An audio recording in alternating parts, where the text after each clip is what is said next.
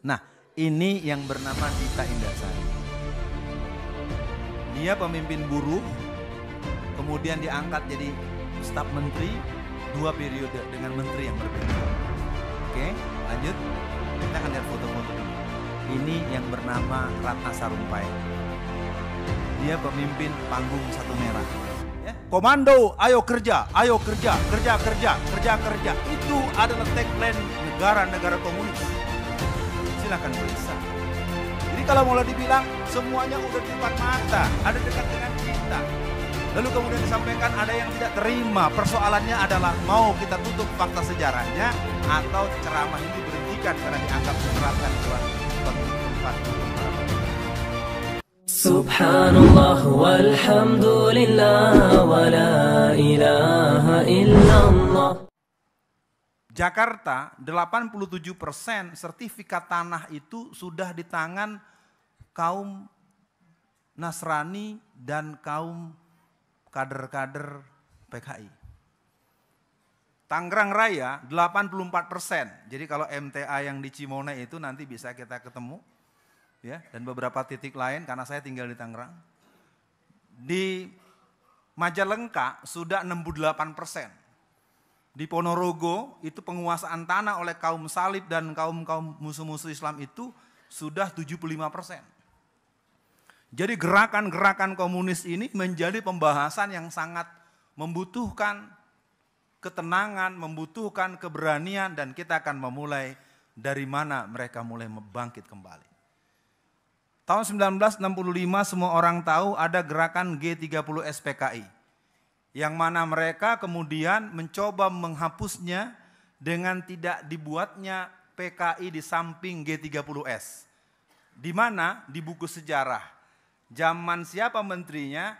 Pada zaman Profesor Dr. Bambang Sudibyo. Apakah dia yang berbuat? Bukan. Yang berbuat adalah kader-kader PKI yang menggunakan formula KKM, kerja di kalangan musuh, yang masuk ke dalam institusi, lembaga, pendidikan, lembaga, departemen yang bernama Departemen Pendidikan dan Kebudayaan. Maka awal tahun ajaran 2004 mulai ditawarkan pelajaran sejarah G30S tanpa PKI.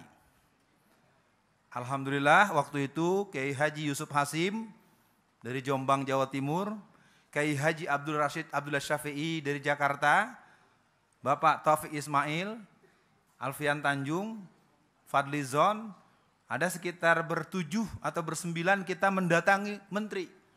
Pak Menteri, bagaimana ceritanya kok buku sejarah kita dihilangkan PKI-nya, dihilangkan pelaku utama, subjek utama daripada gerakan yang telah pernah membuat aktivitas yang berdarah-darah. Nah, sekarang kita ambil supaya kita bisa melihat dan waktu kita cukup untuk dialog. Pemilu pertama di, di zaman reformasi itu bulan April tahun 1999. Kejadian setelah pemilu itu yang pertama adalah dibakarnya kantor KPU pusat. Itu tidak pernah tersebar luas. Karena memang cuma sebagian kecil, tapi yang luar biasa dibakarnya kantor KPU Karawang.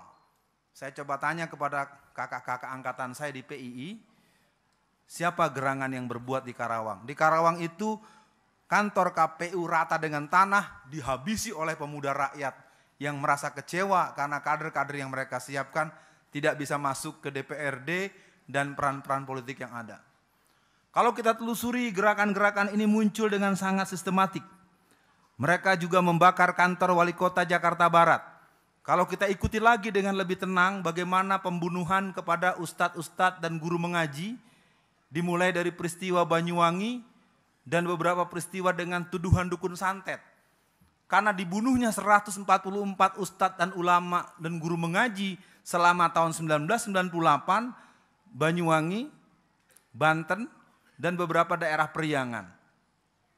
Selama tahun 1999 telah dibunuh sebanyak 200 ustadz, ulama, dan guru mengaji dengan keadaan lehernya hampir putus dan perutnya itu ususnya terburai.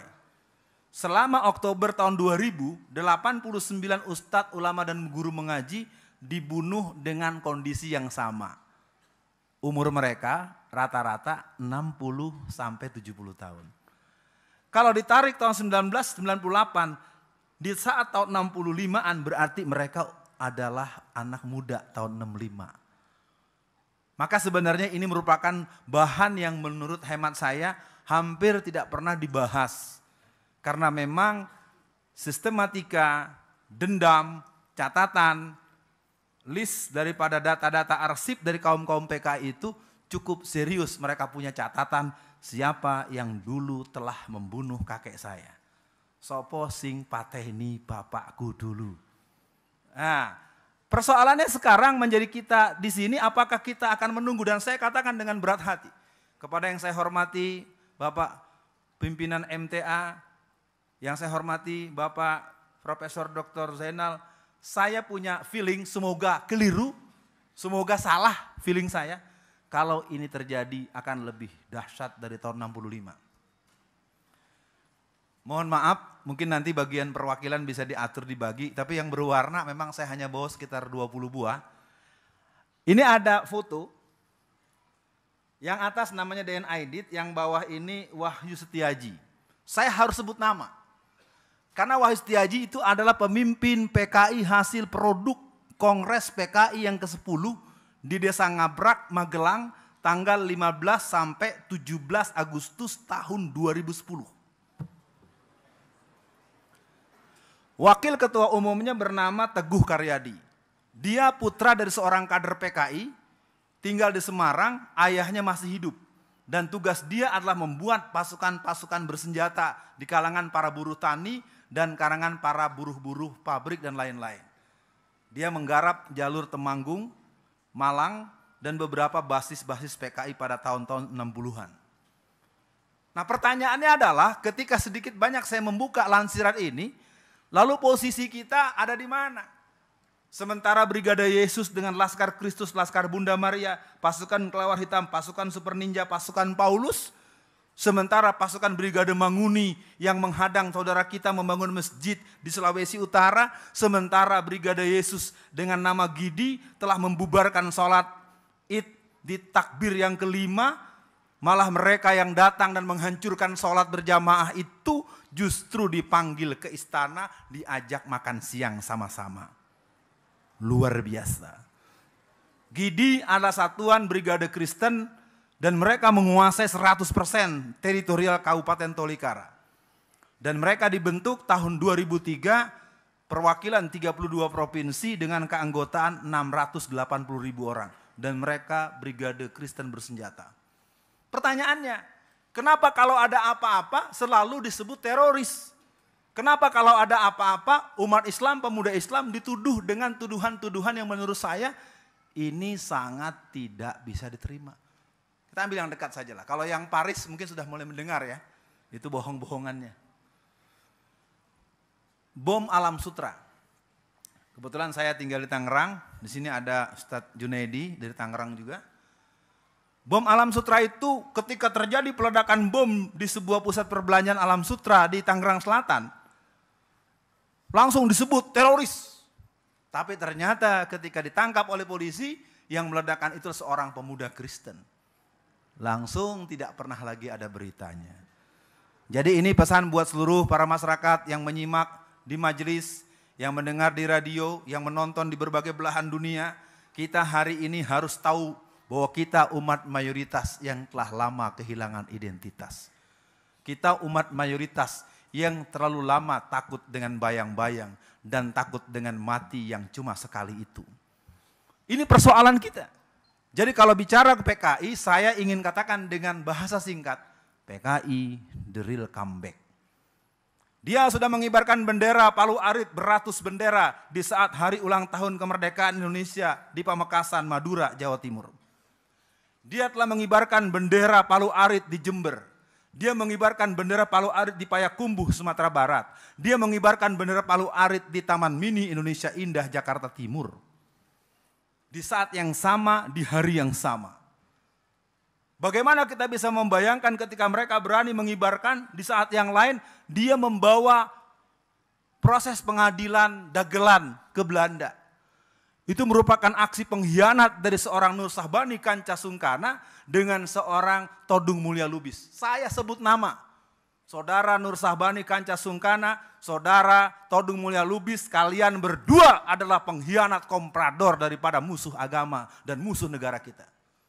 Artinya, kepada para hadirin tentu saya sangat paham betul kultur di MTA ini. Kita boleh punya pemahaman yang panas, tapi pikiran harus jernih, hati kita harus tenang, dan kita harus bertanya, apa yang Allah arahkan untuk itu. Gerakan-gerakan kaum Freemason, gerakan-gerakan kaum Lucifer, ini merupakan gerakan yang harus dituduhkan dengan sedemikian rupa. Karena PKI merupakan salah satu sub organ daripada operasi penghancuran dan regulasi instabilitas permanen. Jadi saya katakan mohon maaf ini mungkin Ustadz bahasanya ketinggian. Kami ada yang kurang ngerti. Waduh gimana nih ya. Ya sudahlah, pokoknya kalau nggak ngerti lihat di mbah Google aja deh. Ya, kalau nggak paham tertanya sama ponakannya. Tadi tuh Ustadz, bukan dicatat, dicatat aja yang nggak paham. Nah, jadi kita akan coba teruskan dulu gerakan PKI. Gerakan ini kemudian bergerak sedemikian rupa, mereka mulai memasukkan orang-orang mereka di dalam eksekutif. Kita sebut yang jelas-jelas.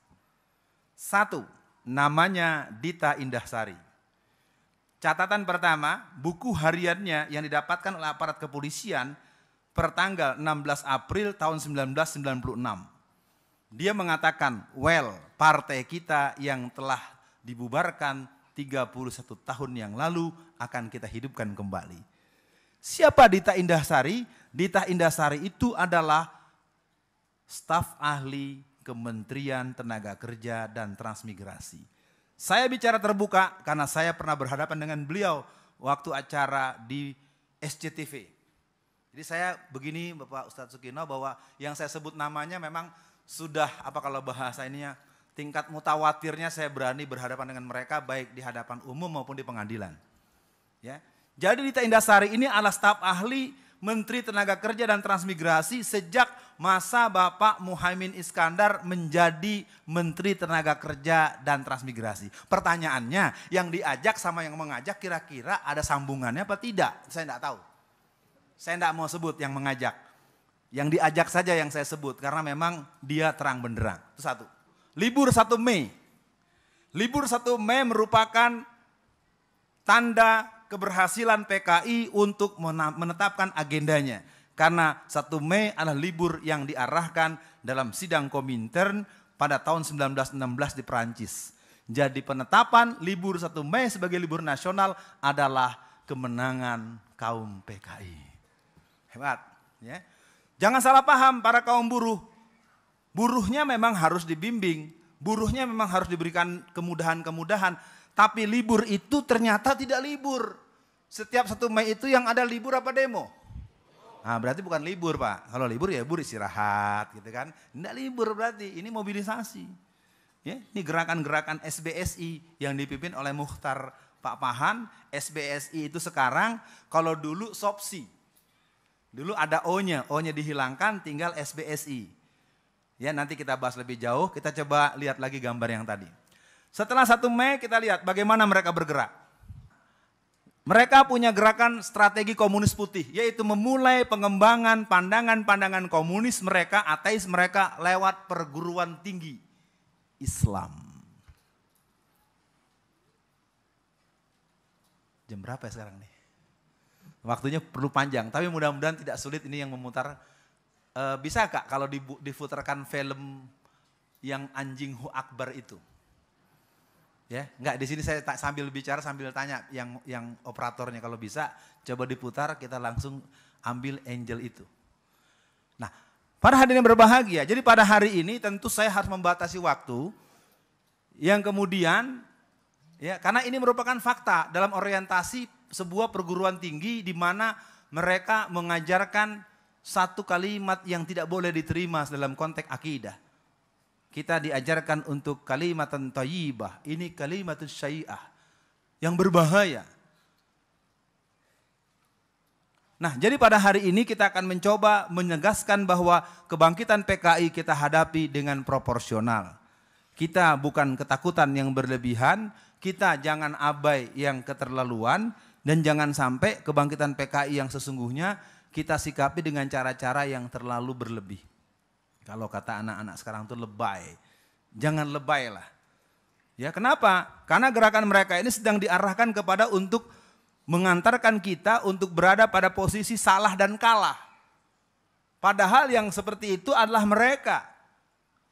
Mereka adalah orang-orang yang memilih telah jalan yang salah dan kalah. Tetapi mereka ingin membalikan kepada kita yang di mana akhirnya mereka menuntut kita minta maaf pada mereka. Ini kurang ajar ini. Sulit diterima.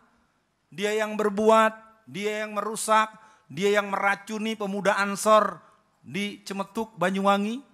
Bagaimana dia meracun anak-anak Ansor, 62 pemuda Ansor diundang pada tahun 1962 diundang oleh pemuda rakyat, lalu para gerwani mencoba menyambut mereka dengan pakaian seolah-olah seperti fatayat NU. Lalu kemudian 62 pemuda Ansor ini dihidangkan makanan yang sudah diracuni dengan racun dosis tinggi dan semuanya mati di tempat.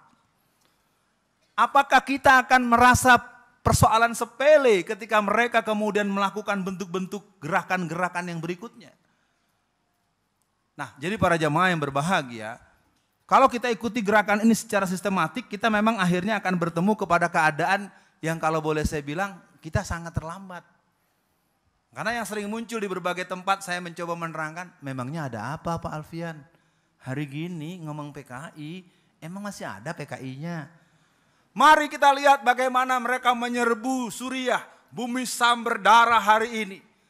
Bagaimana yang namanya pasukan Rusia, pasukan Cina, pasukan Vietnam bersama-sama mereka mengepung bumi Syam, bumi jihad. Wallazina kafaru ba'duhum awliya'u ba'din. Jadi dengan kasat mata detik ini, menit ini, minggu ini, hari ini orang-orang komunis seluruh dunia bergabung mereka menggempur kaum muslimin di Suriah. Di dalam negeri hari ini kaum PKI sedang disapi sementara. Coba tengok, tidak ada satupun kader-kader PKI yang jadi menteri. Budiman Sujatmiko tidak jadi apa-apa.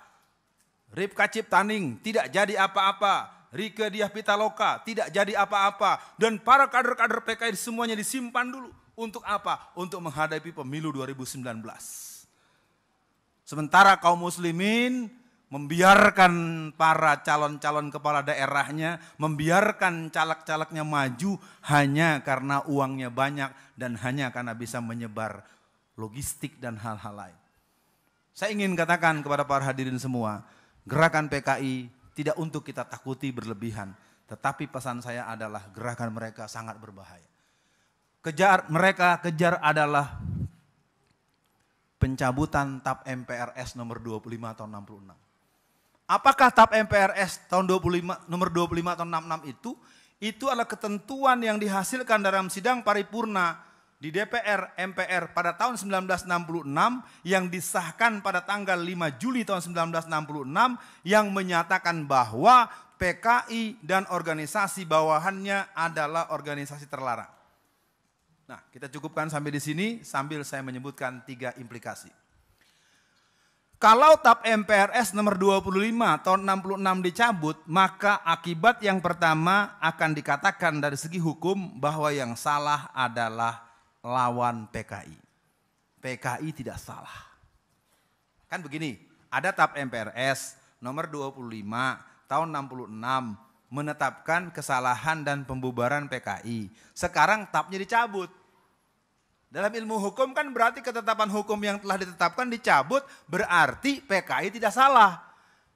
Karena PKI tidak salah maka yang salah adalah musuh PKI. Siapa itu? Umat Islam dan Angkatan Darat. Poin pertama. Pada bulan September tahun 2005 sekitar 500 orang dari Kediri, dari Magetan, dari Madiun, dari Pasuruan, dari Blitar dan Banyuwangi, 500 orang yang usianya 70, 80 tahun datang ke pengadilan negeri Jakarta Pusat. Jadi kalau yang suka ke Jakarta itu ada namanya Harmoni, arah ke kota itu ada pengadilan negeri Jakarta Pusat. 500 orang tokoh-tokoh PKI masa lalu datang ke sana dalam rangka untuk meminta pencabutan TAP MPRS dengan aksi kompensasi. Berapa dia minta kompensasinya? Satu orang 950 juta sampai 2,5 miliar. Dan mereka mengklaim punya anggota 20 juta secara nasional. Apa yang terjadi? Kalau itu dipenuhi, maka mereka akan punya modal paling sedikit 25 ribu triliun. Nah kalau Kemudian poin yang ketiga, apabila TAP MPRS nomor 25 tahun 66 dicabut, secara otomatis PKI yang berlambang Palu Arit akan boleh ikut pemilu pada pemilu yang kemudiannya. Bendera Palu Arit berkibar dengan resmi, punya modal 25, mil, 25 triliun, 25 ribu triliun, kira-kira kalau mereka ikut pemilu jadi pemenang atau jadi pecundang? Menang 25 ribu. Baik kita nonton dulu film yang dimaksud tadi.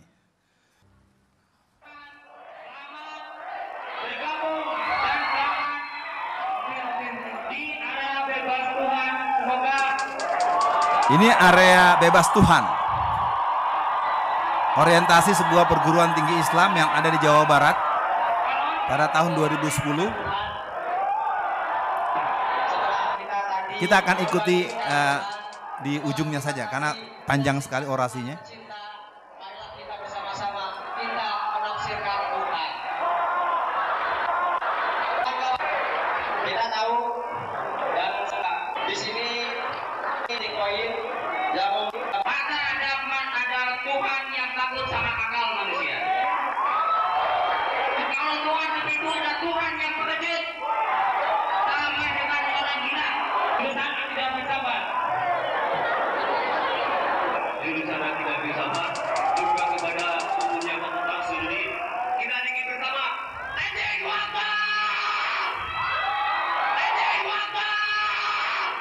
Para jamaah yang berbahagia, saya hanya ingin mengatakan kepada yang saya hormati Profesor Zainal, Ustaz Sukino dan semua jamaah MTA, kita orang yang bertanggung jawab untuk menjaga keutuhan NKRI.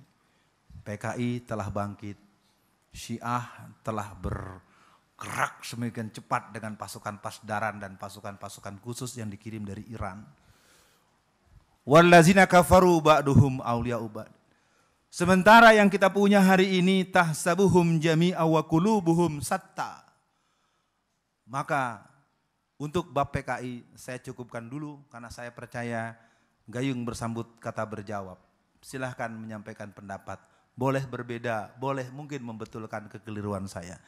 Kalau bab-bab lain mungkin di lain waktu, supaya dialog ini lebih mengantarkan kepada proses penyamaan frekuensi. Karena kalau saya diminta menerangkan soal PKI, cukup waktu berapa saja. Saya insya Allah masih sanggup untuk menerangkan di bagian-bagian yang perlu dipahami. Kita kembali dulu sedikit ke layar tadi, PowerPoint tadi, supaya nanti kita melihat stressingnya di mana. Ya, lanjut. Karena kita tadi janji mau lihat foto-foto mereka. Lanjut. Ya, nah ini yang bernama Dita Indahsari. Dia pemimpin buruh, kemudian diangkat jadi staf menteri, dua periode dengan menteri yang berbeda. Oke, lanjut. Kita akan lihat foto-foto dulu. Ini yang bernama Ratna Sarumpait. Dia pemimpin panggung satu merah. Lanjut. Lanjut. Ini enam orang yang sangat dikenal sebagai penggerak gerakan PKI sejak tahun 80-an. Ya, yang pojok kiri atas namanya Ripka Ciptaning. Dia mengarang buku Aku Bangga Anak PKI pada bulan Juni tahun 2002. Dia mengarang buku yang kedua Anak PKI Masuk Parlemen bulan September tahun 2005.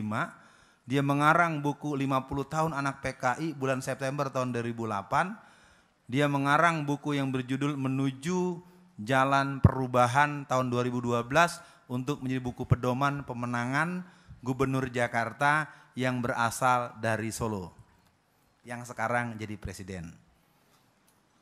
Seragam kotak-kotak itu adalah seragam pemuda Partai Komunis Cina. Mau bukti? Silakan diperiksa koran media Indonesia terbitan hari Senin tanggal 17 bulan September halaman 12 pojok kiri atas. Silahkan dibuka di di browsing nanti. Jadi seragam kotak-kotak itu adalah seragam pemuda Partai Komunis Cina. Dan itu menjadi lambang kemenangan dalam proses pemilihan gubernur Jakarta 2012. Ya. Jangan tersinggung-tersinggung, ini fakta saja. Saya bicara physically, saya bicara data di koran ada. Belum lagi dia mengatakan dalam koran Sinar uh, Sinar Harapan ya, sore dia katakan dalam tanggal 18 Maret tahun 2004 yang bisa menyelesaikan bangsa ini adalah konsep Nasakom. Nasakom, Nasakom adalah kita. Nasakom adalah kita. Nasakom adalah kita. Prof masih ingat kali ya? Siapa yang kampanyenya kemarin pakai kita-kita? Silahkan periksa sendiri. Saya nggak nyebut nama, cuman ngingetin aja. Nasakom adalah kita. Kemarin kampanye ada yang pakai kita-kita. Ya. Atau ayo kerja, ayo kerja. Itu tagline negara komunis. Ya, komando, ayo kerja, ayo kerja, kerja, kerja, kerja, kerja. Itu adalah tagline negara-negara komunis. Silahkan periksa. Jadi kalau mulai dibilang semuanya udah di depan mata, ada dekat dengan kita.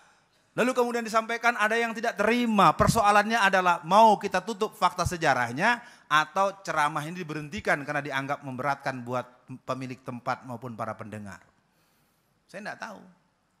Yang jelas saya harus menuntaskan sampai tanya jawab. Lanjut.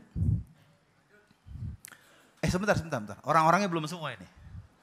Ya, biar jelas, siapa-siapa aja jangan cuma lihat gambarnya aja. Yang tengah bernama Budimas Jatmiko. Dialah yang menggolkan undang-undang desa. Undang-undang desa itu adalah skema undang-undang desa mengepung kota. Dia ingin memberikan bakta kepada seluruh masyarakat. Kalau bahasa Jakarta, gua loh yang berjasa. Dia adalah seorang pendiri PRD yang awalnya tahun 1994 bernama Pergerakan Rakyat Demokratik pertanggal 31 Mei 1996 berubah menjadi Partai Rakyat Demokratik dan tanggal 27 Juli menjadi Komando Kerusuhan Penghancuran Kantor PDI Budi Harjono. Ya, kalau yang tahu sejarah, ini manusia adalah penghancur PDI. Saya tidak mau berbicara pro kontranya karena kemudian akan muncul PDI Perjuangan itu nanti bicara sejarah lain lagi. Apa yang dia pimpin? Bagaimana Budiman Sujatmiko itu? Dia adalah seorang pemimpin Partai Demokratik yang mana PRD merupakan PKI dengan casing baru yang sudah melakukan kongres yang ke-8 pada tanggal 24 sampai 26 Maret tahun 2015 di Hotel Akasia Jakarta Pusat sederetan dengan kantor Dewan Dakwah Islamiyah Indonesia dan kantor Muhammadiyah Jakarta. 24 sampai 26 Maret 2015. Di Hotel Akasia Kongres yang ke-8. Jadi kita lihat sekarang PKI di satu sisi, PRD di sisi lain dan para generasi-generasi tradisional romantisme. Jadi PKI ini sekarang tumbuh di semua tempat. Sekarang ada yang jadi gubernur, ada yang jadi bupati, ada yang jadi wali kota, ada yang jadi staf menteri, yang menteri disimpan dulu nanti buat 2019. Jadi pemilu nanti dengan adanya menang di gelombang pertama pilkada serentak ini, nanti pilkada serentak lagi tahun 2017, 2019 negara ini adalah negara demokrasi yang komunisme. Memang tidak mudah untuk mendengarnya. Saya tahu omongan saya akan menimbulkan resistensi. Kalau tidak dicegah, maka langkah pertama kembalikan dulu Undang-Undang Dasar 45. Itu merupakan sebuah pelacuran konstitusional yang sangat luar biasa. Ketika pasal 6 dirubah dengan doktrin gereja oleh Profesor Dr. J.E. Sayetapi.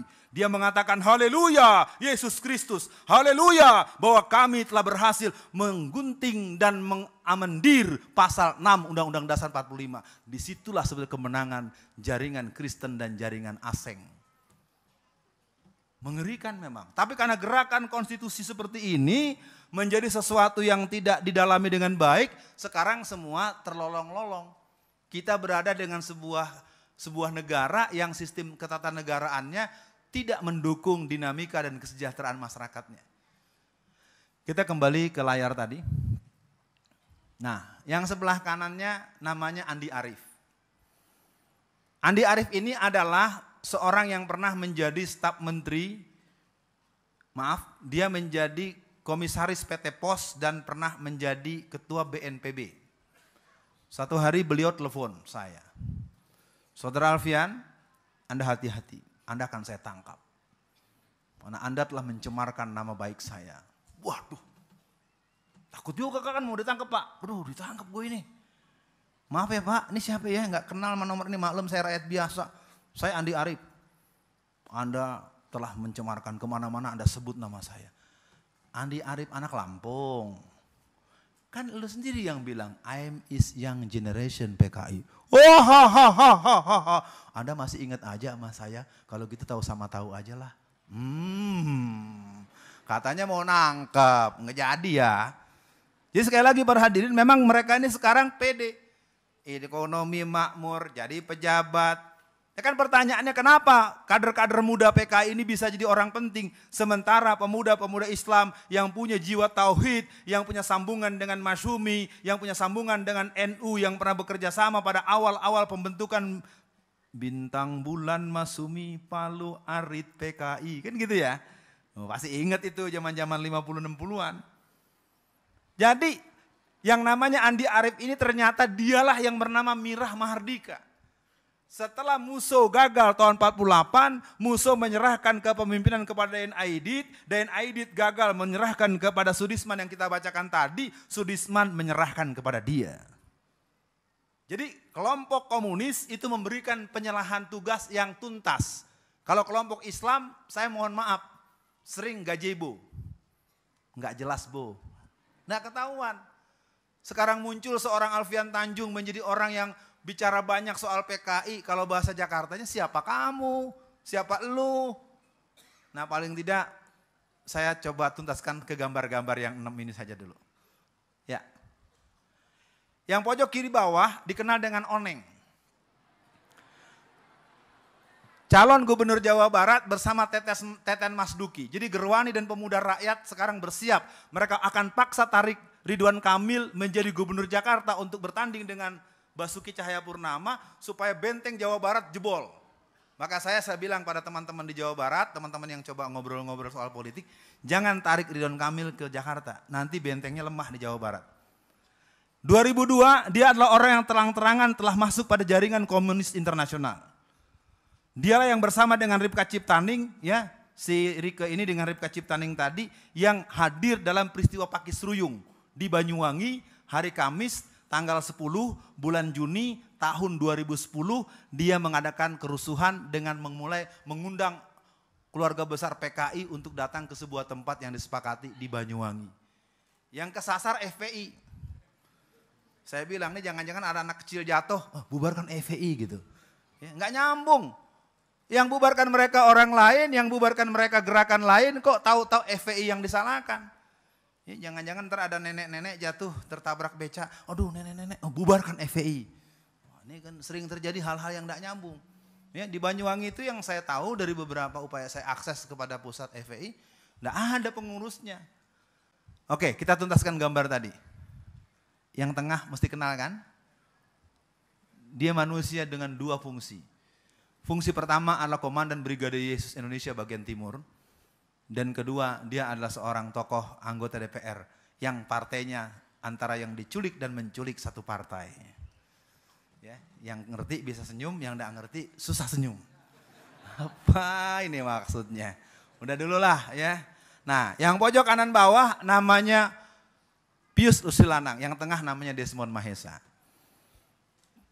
Pius Lusilanang ini seorang putra dari Palembang. Agamanya Kristen Katolik. Dia memimpin pasukan khusus yang bernama Brigade 1 yang digembleng di Tasikmalaya. Selama sekian bulan dia mendidik pemuda-pemuda dari Pasundan untuk menjadi pasukan Brigas. Pasukan Brigade 1 yang punya militansi diwujudkan dengan cara menempeleng pas wampres pasukan pengawal presiden pada Kongres PDI tahun 1999 di Semarang. Saya tanya pada jamaah, yang namanya pasukan pengawal presiden itu sipil apa tentara? Logis nggak seorang tentara ditempeleng sama satgas partai? tahu, tidak logis tapi kejadian. Yang mimpin yang tadi itu, si Pius. Dan Pius sekarang juga bergabung dalam partai yang menculik dan diculik satu partai. Ya, coba teruskan sedikit lagi. Saya memandang walaupun tidak bisa kita merasa terlalu instan, minimal ada hal yang perlu kita lakukan. Sampai di sini dari saya, kalau masih ada waktu dan pengaturan mendukung, uh, alokasi waktu dan saya kurang paham uh, tradisi di tempat kita secara langsung, maka kalau memang ada tanya jawab, mohon diatur. Kalau tidak, berarti saya uh, mohon diri. Baiklah, kami sampaikan terima kasih Ustadz Alfian Tanjung atas waktunya bisa memberikan pencerahan kepada para hadirin semuanya. Eh, namun kami berikan kesempatan kepada para hadirin semuanya untuk mempersiapkan pertanyaannya baik tertulis maupun nanti secara langsung. Dan untuk ada waktu sedikit lagi Ustadz untuk memperjelas maring lima langkah tadi karena kita tadi masih bicara mendeteksi adanya PKI kemudian endingnya kan harus bagaimana menghadapi PKI. Gitu. Okay. kali dijabarkan dulu lima langkah nanti kalau ada yang kurang jelas bisa ditanyakan kembali. Luar biasa. Baik, baik. Kita selesaikan dulu. Yang pasti, tak kumaksudkan mengajarkan itik untuk berenang. Tak kumaksudkan memberikan garam air laut. PKI bangkit, coba kita tawarkan lima langkah berikut ini. Yang pertama, mungkin kita ada di sini. Langkah penyadaran sadar kita akan sejarah, sadar akan situasi, sadar akan implikasi. Dan saya nyatakan dengan berat hati, kalau kita biarkan mereka berteriak-teriak di Belanda, itu sebuah persidangan yang sangat abal-abal. Itu sidang abal-abal di Belanda itu, itu sidang liar karena mereka tidak mempunyai legal standing yang bisa dipertanggungjawabkan secara hukum. Pengkhianat-pengkhianat itu mesti ditangkap dan kalau dalam ilmu tata negara itu orang itu harus dihukum mati. Mereka membawa persoalan dalam negeri ke luar negeri dengan seenak perutnya dan dibawanya ke Belanda lagi. Di mana PKI pertama kali dibentuk. Ya, jadi yang membentuk Partai Komunis yang pertama itu Sniflet dan beberapa tokoh-tokoh e, Belanda yang membentuk itu. Oke, kita masuk bagian kedua. Bagian kedua yang bisa kita lakukan setelah penyadaran adalah langkah kedua. Lanjut. Langkah pengkaderan. Ini yang saya tangkap saya menangkap semangat ini ada di MTA. Ya apa yang perlu kita lakukan? Pelatihan untuk para pelatih. Pilihannya mungkin bukan pada PKI Minded, tetapi paling tidak kesadaran akan resiko terburuk. Karena kalau kita bayangkan 87% sertifikat tanah di Jakarta sudah dalam genggaman kaum kafir, 84% ada di Tangerang Raya, 65 persen, 68 persen di Majalengka, 75 persen di Ponorogo. Yang saya sebut adalah yang saya tahu persis. Yang lain tidak saya sebut karena saya kurang persis tahu. Kalau di Tangerang, kebetulan saya sekarang punya tugas menjadi majelis suro untuk jaringan masjid Tangerang Raya. Jadi kita diskusikan betul dan cukup was-was. Untuk BSD yang di Pusat Perdagangan dan Bisnis Sumarekon itu jumlah gereja 170 dan jumlah masjid cuma 70. Ya, luar biasa. Banten saja dikepung habis itu. Ya. Oke, yang kedua tadi sudah kita lihat. Lanjut, yang kedua, sebentar. Pengkaderan kaum tani. Mungkin pembahasan ini bisa dialamatkan kepada STII. STI sudah mulai hidup kembali, ya, dipimpin oleh Pak Abdullah Futeh dan sedang melakukan gerakan-gerakan penataan karena di sana ada beberapa tokoh-tokoh muda dari Malaysia yang pulang ke Indonesia. Yang ketiga kaum buruh. Jadi kepada kaum buruh, baik Sarbu Musi, baik e, gerakan buruh yang ada di kalangan Muhammadiyah, galangan PKS, galangan yang lain, agar jangan salah paham. Penetapan satu Mei tadi bukan saya me, memusuhi pergerakan buruh tidak, cuman libur satu Mei itu program PKI itu aja. Guru buruhnya harus dikawal, dikasih pengertian bagaimana undang-undang, bagaimana UMR, bagaimana UMK dan bagaimana hal-hal lain yang buat kebutuhan mereka. Pengkaderan di kalangan pelajar dan mahasiswa. Sampai hari ini saya belum pernah mendengar ada front pelajar, ada front mahasiswa anti komunis.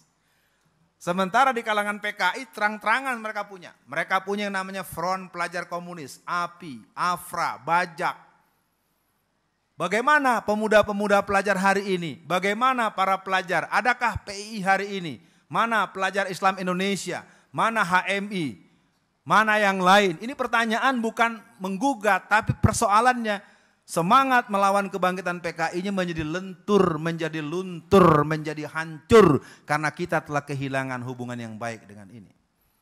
Wa nunazzilu minal Qur'ani ma huwa shifaa'u rahmatul mu'minin wa la yazidu zalimina illa khasara.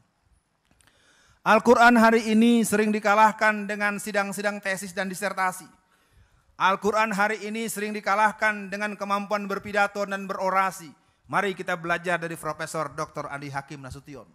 Ketika beliau menyelesaikan disertasi S3 beliau di Amerika. Waktu itu dia membuat filsafat ilmu menurut Al-Quran. Maka para promotor-promotornya membilang, Saudara Andi, Anda tidak boleh menuntaskan disertasi S3 Anda karena Anda menggunakan Al-Quran dan sabda Muhammad Rasulullah. Oh baik para promotor.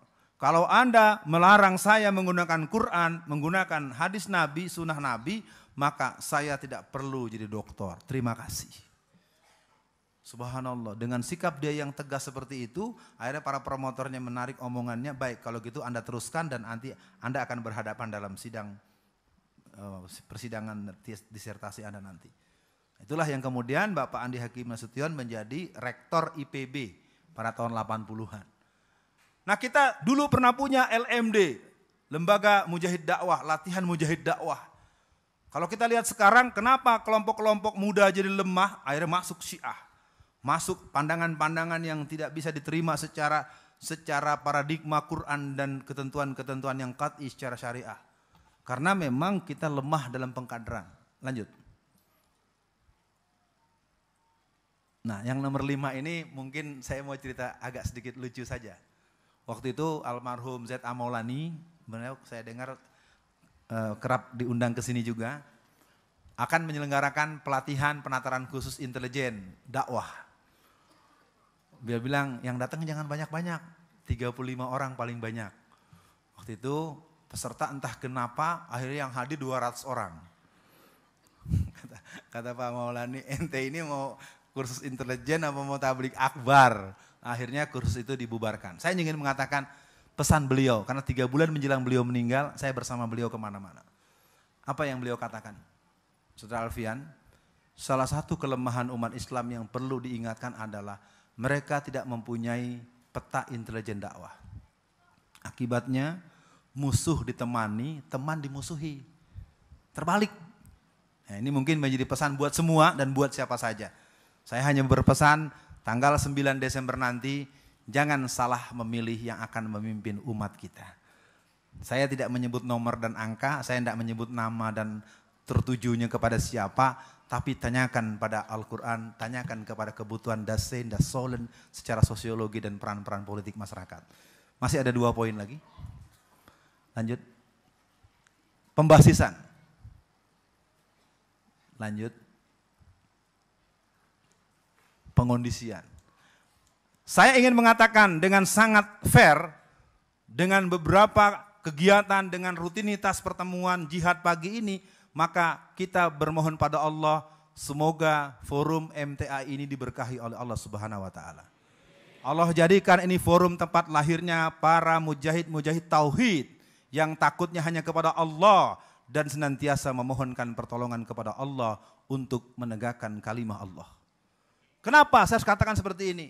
Karena hari ini tidak ada lagi orang yang bisa sebagaimana satu dokumen intelijen Kristen yang sempat saya pelajari dalam sidang Dewan Gereja Rahasia pada bulan April tahun 2001. Ada satu dokumen yang kalimatnya begini. Kita ini sebetulnya cukup was-was dengan kelompok muslim yang memberikan penjelasan terhadap rencana kita.